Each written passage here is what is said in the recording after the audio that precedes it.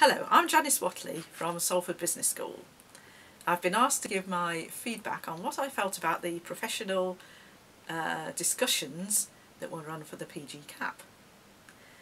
It was a really interesting exercise to get involved in and I especially liked the use of Lego modelling to help the students to say how they thought their journey had progressed as they did the PGCAP. It was a good way of getting them to be very creative. I know some of us aren't very artistic and we do find it difficult to actually express ourselves in artistic forms and Lego is a nice sort of technical artistic type of tool to use so it was really good.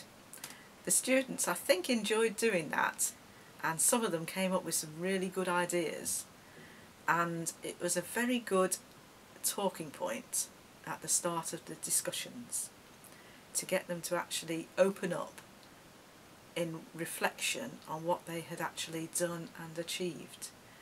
So as a talking point, excellent, and as a creative means of thinking about their reflection, excellent as well.